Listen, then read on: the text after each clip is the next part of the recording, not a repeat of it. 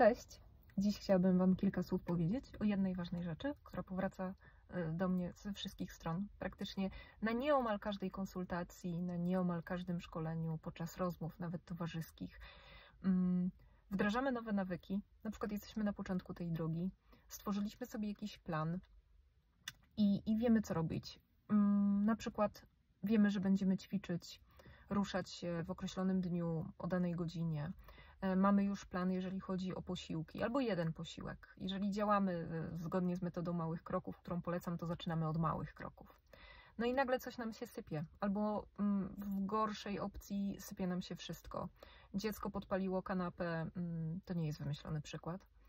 E, albo na przykład ktoś ma biegunkę, dziecko albo zwierzak, albo my się rozchorowaliśmy, albo w pracy jest natłok obowiązków, albo w ogóle jakieś inne tragedie Uwaga, tragedie są częścią naszego życia i będą się zdarzać, e, a nawet jeżeli nie tragedie, to na bieżąco e, różne kłody pod nogi będą nam wpadać. No i teraz co zrobić w związku z tym, kiedy nasz plan idzie się gonić, nasz idealny przecież plan, z którym się już tak mentalnie połączyliśmy, chcieliśmy zgodnie z nim działać, a to się wszystko posypało.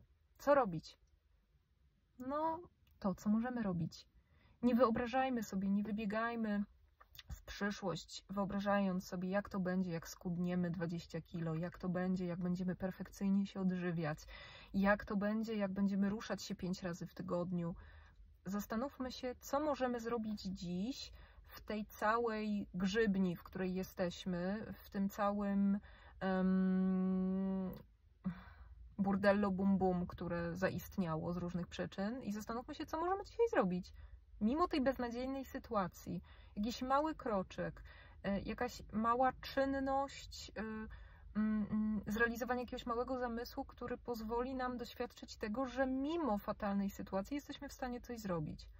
Okej, okay, jestem przeziębiona, nie pójdę na trening, ale może mogę się porozciągać i zrobić coś dobrego dla swojego ciała, tak żeby się dobrze poczuć. Mm, okej, okay, nie mogę zjeść idealnych posiłków, ale tydzień temu kupiłam sobie mrożone warzywa i mimo, że na przykład mam gorączkę i nie mogę wyjść y, y, do sklepu kupić sobie coś lepszego, to z tej mrożonki mogę po prostu zrobić coś szybkiego, żeby cokolwiek odżywczego zjeść.